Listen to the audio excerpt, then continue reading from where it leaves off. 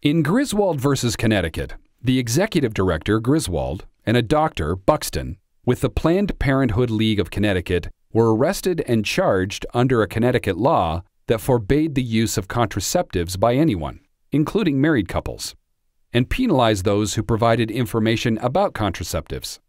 Griswold and Buxton were found guilty as accessories and fined $100. Griswold and Buxton fought the convictions, alleging that the Connecticut laws violated their right to due process under the 14th Amendment.